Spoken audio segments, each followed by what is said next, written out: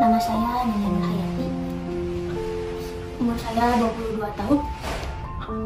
Saya didiagnosa mengidap virus popo.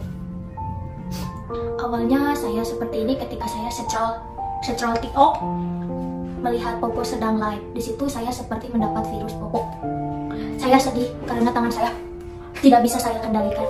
Apalagi ketika saya beraktivitas, saya semakin tidak terkendali.